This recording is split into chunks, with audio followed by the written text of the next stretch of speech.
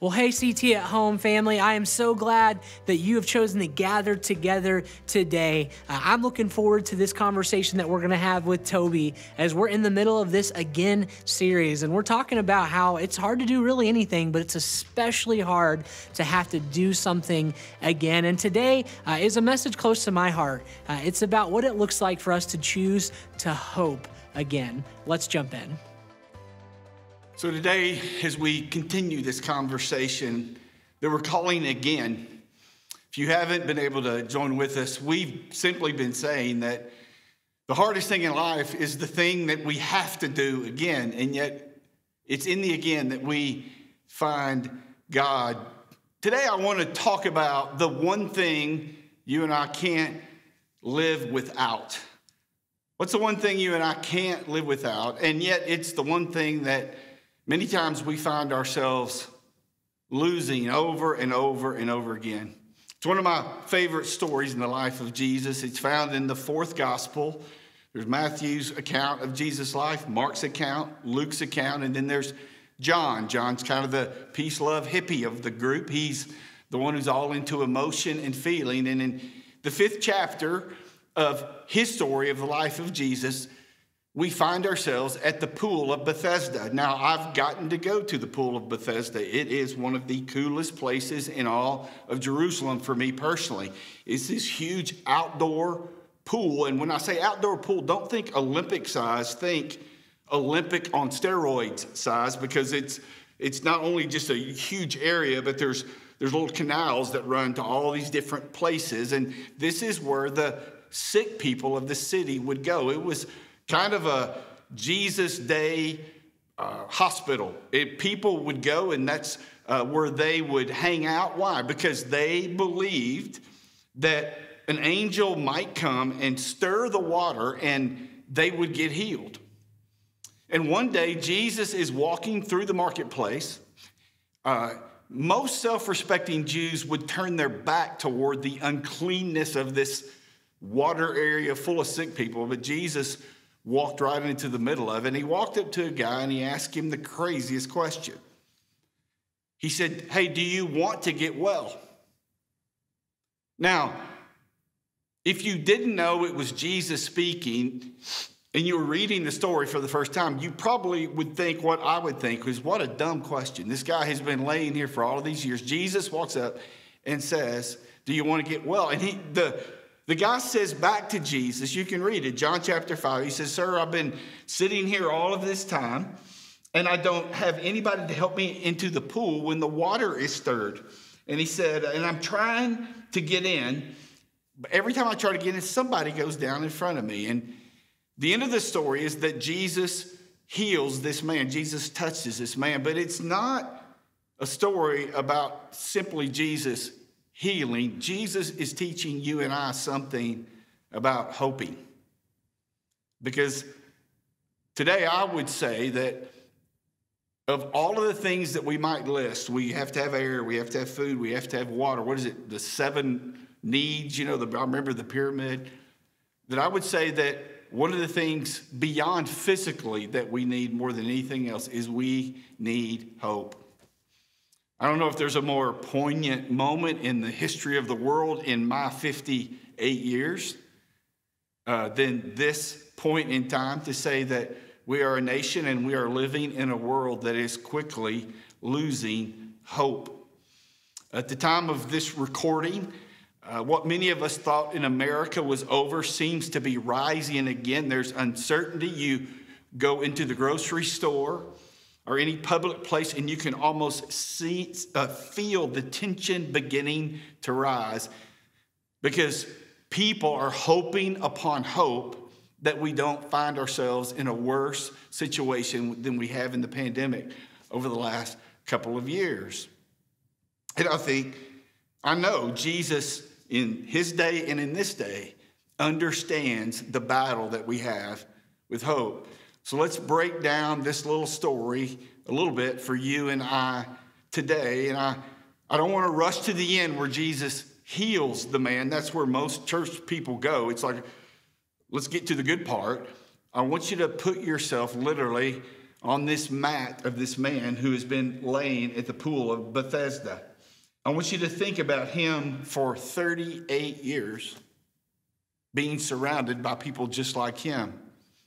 Now, when I say people just like him, I'm talking about people who are seen by society as people who must have done something bad because God is punishing them for being disabled. I'm talking about people surrounded by people who, uh, who weren't accepted anywhere they went, people who were out religiously, economically, uh, socially, in every form and fashion. They were the outsiders.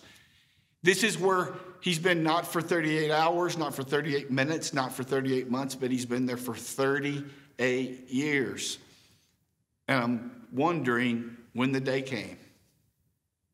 I'm sure it wasn't day one, whoever his friend, his family was that set him down by the pool. I'm sure day one he woke up believing that that was going to be his day.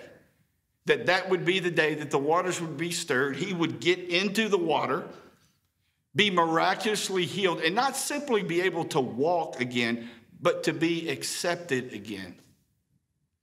We don't know much about this man's faith. He's living in a Jewish culture, in a Jewish uh, city. I'm sure uh, that he was at some level of a devout Jew, which one of the things you're taught from a very early age that if you pray right, hold your mouth right, do more good things than bad things, God is going to answer your prayers. Because sometimes the more things stay, the more things change, the more things stay the same. And so I'm sure that first day he was believing that it was going to be his day. I probably would guess in the first week he was believing that it was going to be his day. What? How long did it take before he began to see his situation as permanent? How long did it take before he began to believe that God was distant? As I like to say, how long did it take for him to start believing that there was something wrong with him or something wrong with God because his prayers weren't being answered? I don't know about you, but I could spend a lot more time than we have today talking to you about prayers that haven't been answered in my life. I can uh, tell you about a 27 year battle with anxiety and panic that I began believing that God was going to supernaturally lift it off of me. I can tell you about the day uh, when I lost hope and believed that I would be better off to my family, to my friends, to leave this earth than to continue to live with this condition. It wasn't simply a panic disorder, it was the loss of hope and believing that there was something wrong with me or there was something wrong with God because nothing was changing. And one of the things that encourages me in this account of John's of the life of Jesus is that Jesus waded right into the middle of that mess that Jesus doesn't see what others see. Jesus has this incredible propensity to, uh, to see not what is, but what can be. And I want to say to you today, as you, uh, as you think about the moment that you lost hope, I want you to know that Jesus sees you, Jesus knows you, and Jesus hears you. Uh, I brought a little uh, illustration, I think, of what happens to us many times that as we begin hopeful and we end up hopeless. Uh, now, these things, they tell me they're, they're about 35 pounds a piece. Uh, I'm assuming they mean each piece of this weighted bag here. So basically, I'm one of the strongest men on the planet. And I think what happens is, is this illustrates the fact that at some point, you believe, you begin to hope, you begin to wish, you begin to dream, and you're able to carry that. But along the way, uh, as the days and the weeks pass and your prayers don't get answered and life doesn't go the way that you want it to go and what you believe about that happened in the Bible isn't happening to you, you get tired. Uh, you get weary. Your arms get sore. And over a period of time, you carry that long enough and you finally decide it's better to put it down. The problem isn't simply that you're losing hope. The problem for most of us is we come to the place where we're scared to hope again. That's why Jesus asked him, Do you want to get well? Uh, are you willing to believe again in the God of Abraham, Isaac, and Jacob that he might do a work in you that's beyond what you could even begin to imagine?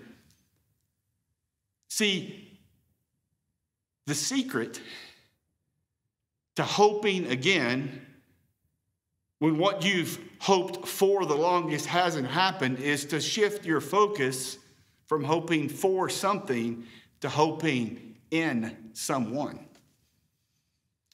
I love uh, Romans 5 5. I always like verses that I've heard before, and it took me so long to believe that that verse was true. There's a little verse in Romans chapter 5 that says, There is a hope that does not disappoint. And I thought, well, that's not true. I've hoped for lots of things, and I've been disappointed in the past. But when you begin to read that verse in the context, what the writer of Romans is building a case for in Romans 5, what he's saying is this is that hope is not wishful thinking. Hope is confident expectation in someone. You know how I got my hope back? Uh, I didn't get my hope back because one day uh, I finally got it right and I had this supernatural lifting of an anxiety and panic disorder off of my life. Here I am 28 years later, I still battle that from time to time. When my hope began to come back is when I began to believe that God was good and wanted to bring good into my life. Then, when I began to stop putting expectations on a God of grace and uh, mercy that loves me unconditionally, I was free to hope again. I was free to believe again. I was free to ask God for anything because whether his answer was yes or his answer was no, in all things, God was working to bring about good in my life. And I'll never forget the day that I feel like Jesus walked into my life and asked me, Do you want to get well? And it was in a, a moment of quiet desperation where what I was sensing God saying to me in that moment, without, without going into unbelievable detail, was I was believing that God was saying to me, Are you willing to trust me again? Are you willing to believe in my goodness that I can bring good out of any situation in your life? Are you willing to let go of the conditions you've put on fully giving yourself to me?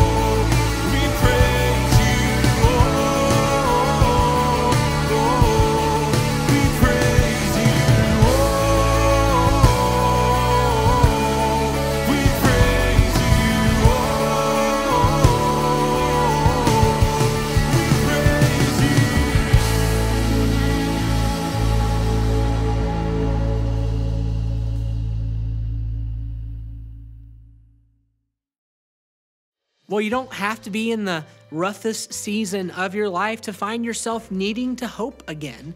I mean, look at the world around us. Look at the things that are happening. I know it doesn't matter what the headline is. I constantly think, is are things going to get better? Can this really be better again? Is it really worth hoping again in a God who has said all these things to us? And so I pray that you received hope today. I pray that you receive the encouragement and the faith that you need to hope again, to hope again for your personal situation, to hope again in what's going on in your family to believe that God can show up again. Maybe it didn't work out the first time and you're thinking it surely can't happen again the second time.